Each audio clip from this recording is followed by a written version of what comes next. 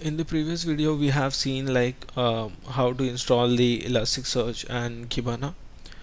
If you haven't watched that particular video I do recommend to you to watch that video. For in this particular video we are going to see how to set up the fleet server. The fleet server uh, is the main to like do all the integration. Uh, you will find that fleet server in the left menu and you can go in the last it is the fourth last uh, option in uh, in the management. And here we can see add fleet server.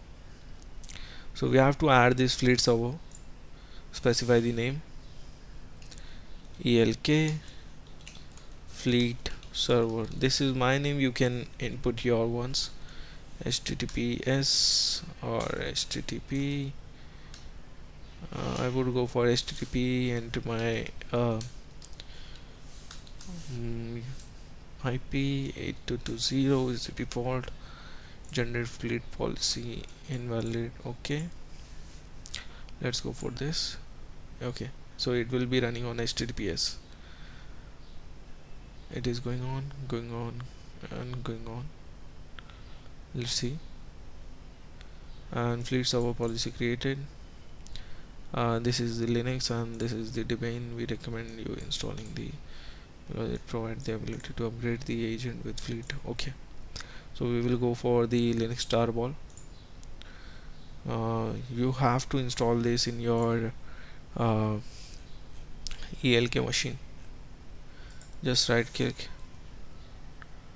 and hit enter.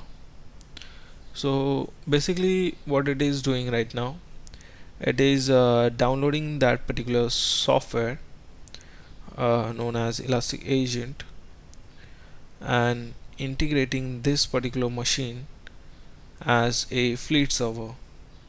So not only your machine or this particular Ubuntu machine will be uh, working as a Elasticsearch server with Kibana installed for visualization and Logstash for enriching the um, enriching the logs but it will also be managing all the agents. And to manage those agents we need the fleet server and the fleet server will be also installed in this particular machine. So now it is asking me uh, to install the um, agent. I said Y and enter. Y for yes. And this will take a little time. And elastic agent is on a little bit heavier side. Uh, it may crash some of your servers so um, you should be taking a lot of care. If someone is saying it is uh, consuming a lot of if some your some of your client is saying that it is consuming a lot of uh, uh, memory then they are saying it true. You should believing on that because it consumes a lot of memory and it is a problem with everyone. We have got the same issues with our multiple clients. So let's see whether it has uh, been integrated or not. It is waiting for the elastic agent to start the fleet server. So let's wait it says that successfully enrolled, enrolled the elastic agent. Elastic agent has been successfully installed. Let's see. We can see fleet server connected. Continue enrolling elastic agent. So we are going to now um, enroll some host into our uh, um, fleet server and for that we need to create some policies. For now I am creating a Windows policy. And it is collecting the syslogs or we can close it. We can um, go for agent policy create agent policies. And we can add like Windows. And that's all. Create that particular policy and going on Windows go for add integration go in Windows um, go for this add Windows.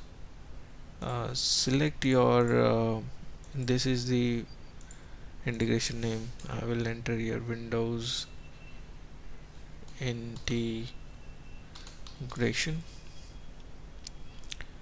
Um, okay okay great what is the name you have to install in Windows policy? Okay.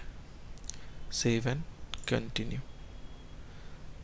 So what I have did uh, very quickly so this is the policy which uh, we are uh, inputting in Windows. So when you will be um, integrating a new host or reintegrating uh, uh, old host in as and that was a Windows host. So you have to tell the policy like what are the um, logs which you have to collect. So I have given here the system logs you have to collect and the Windows logs you have to collect.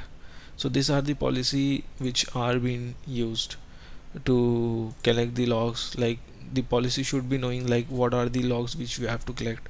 We have to collect the windows log. So uh, for linux we will create a policy for their linux.